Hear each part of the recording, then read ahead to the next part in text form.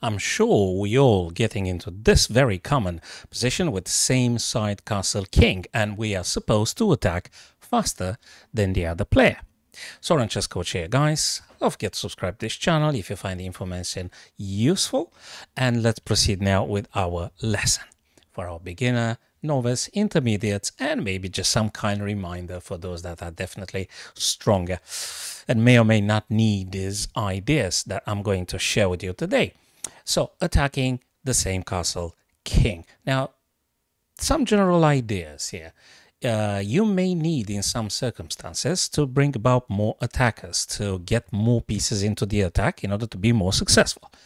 Another idea, uh, it could be also quite common that you need to sacrifice a piece, especially in the Greek gift. So there is a video on the Greek gift as well. If you want to go back in the archive, you're going to find it there.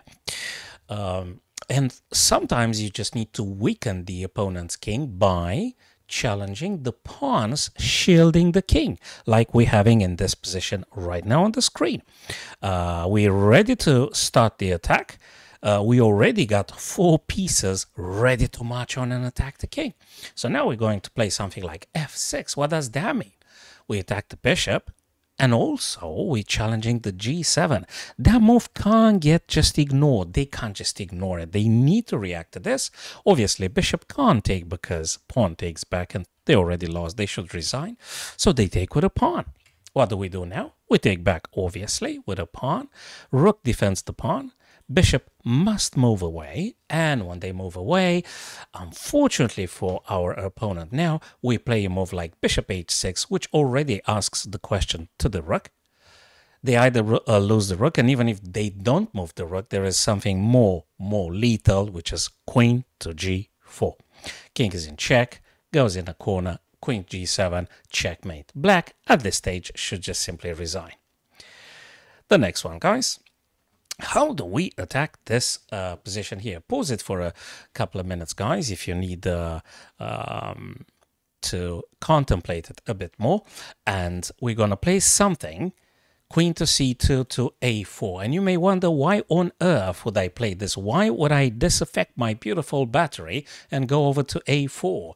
It's because the queen would like, potentially, if possible, to make even a more efficient battery or a more uh, better column way of attacking, namely could be g4, for instance. And if you watch the queen to g4 being positioned and the g7 square combined with the bishop, it could be quite deadly okay? And even bishop f6, it won't work in that circumstance because bishop takes and pawn is pinned by the same queen. So amongst others, queen to a4 is an improvement of the queen's position. That's what we call it in chess, improve your attack, okay? So queen to a4, again, the aim could be also not just queen to g4, my friends, but it's also queen to e4, which is another devastating attempt here to checkmate on the h7. So let's assuming uh, black replies with a rook, rook f to d8, and now queen to e4, devastating uh, attack on the king side. Look at all those powerful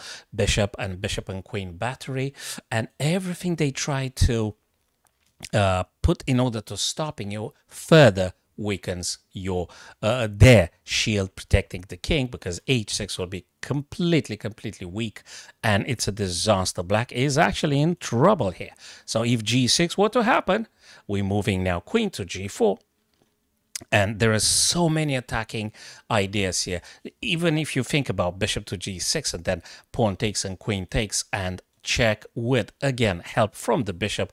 It's quite quite fatal for uh, opponent's king here.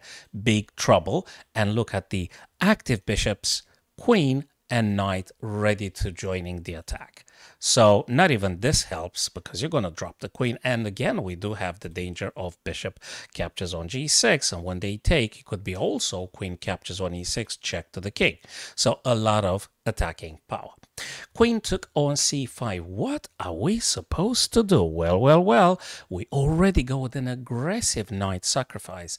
Knight to g7, and you may wonder, wait a second, but what if they take? They very well might take, but after queen f6, we're winning an important tempo tempo, checking the black king. The black king has to move. You've got it, guys. There is only the g8 available for the king, and then we could play something like a rook lift. And then, guys, you're going to tell me which one is faster, you reckon, guys?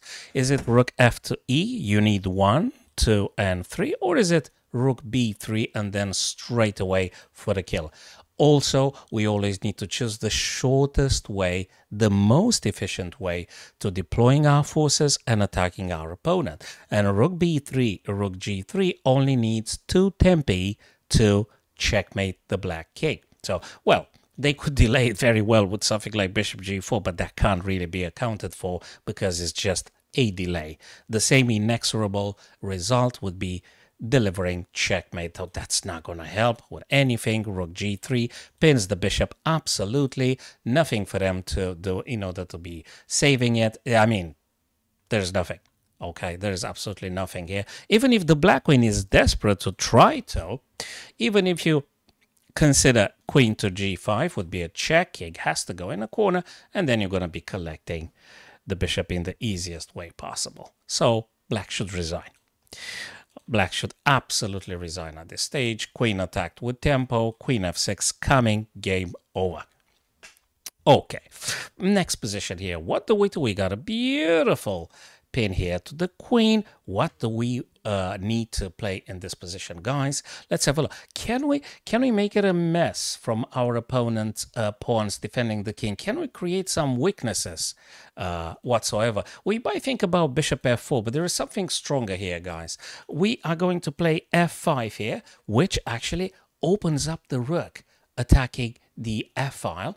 And when we take, we're actually bombarding the f3 with the bishop and increased with the rook. So rather than taking, which by the way, if we if we take previously, the queen would have taken back, so it's not that strong. But opening f7 with f5, that's definitely the best thing to do here. When they capture, we may just uh, very well taking back. Actually, let's just put it to the test here. So let's assume they capture back. Now we're going to take rook takes f5, uh, enormous pressure here. That one doesn't work because you're going to take and you're simply going to win the game, the position, guys. Okay, we're going to go for another tutorial together here. So what do we do? As you can see, guys, there is enormous attacking power. The knight targeting g2, h3, the bishop, and the queen. Enormous, enormous, enormous attacking power here, guys. And we're going to go now with the very deadly bishop captures on h3. First thing first, and they will have to take back here. And when they take back, we capture with queen takes to h3, threatening directly queen g2 checkmate. And this is this is hugely weakening the uh, opponent's king. We're going to take with a queen, and the threat is simply unstoppable. Queen to g2 cannot be stopped, and also knight is hanging. So that's a that's a difficult position. White should resign. This position here, what do we need to play? Is there anything we can go for? Any any attacking power? Definitely there is.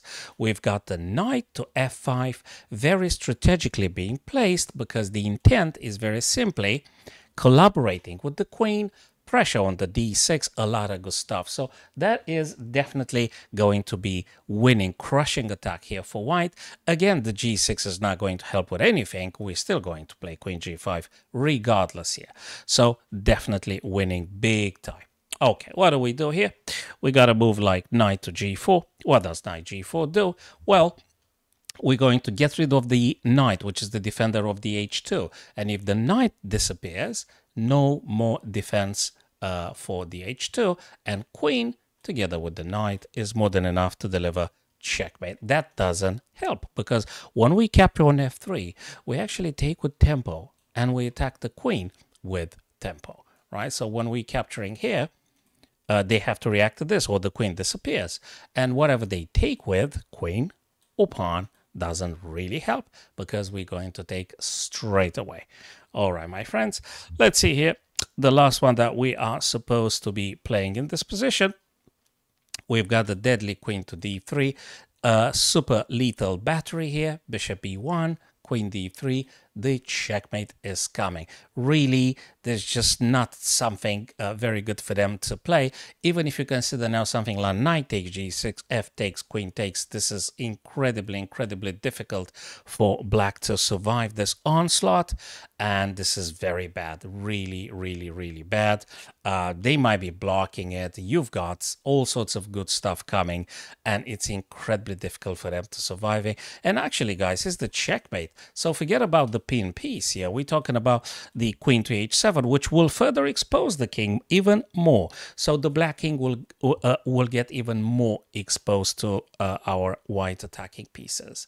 So thank you very much for watching this short video, guys. Remember, get more pieces into the attack. Sometimes it's required to make a sacrifice in order to weaken the uh, uh, your opponent's uh, fortress, king's fortress. And uh, it should be it should be good news, guys, and you should be uh, playing better than before. So thanks very much for watching this video, guys, and I hope I'll gonna I'm gonna see you on the next one.